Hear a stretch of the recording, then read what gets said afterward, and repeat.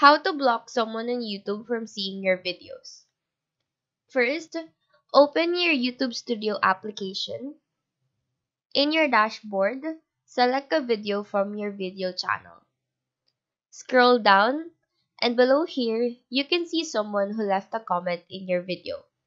If you don't want that someone to see your videos, tap that user's comment, then tap the three dots and select hide user from channel. Now go back to dashboard and as you can see, the comment is gone and they won't be able to see your posts from now on.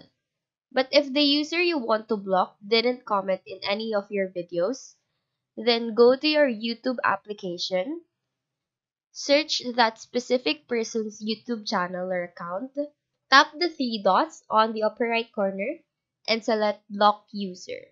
Now this user is prevented from commenting and seeing your YouTube videos. So that is how you block someone from seeing your videos on YouTube. Do let us know if this video helped you out. And if you have any questions, feel free to drop them down below. Thank you for watching and have a great day.